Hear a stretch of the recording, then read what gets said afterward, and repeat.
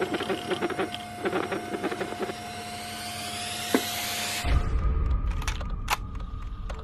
career in government intelligence requires an appropriate level of violence. A talent for discretion.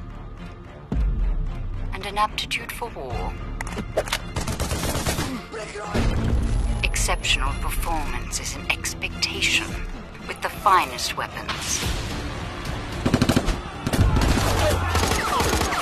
And our newest technology.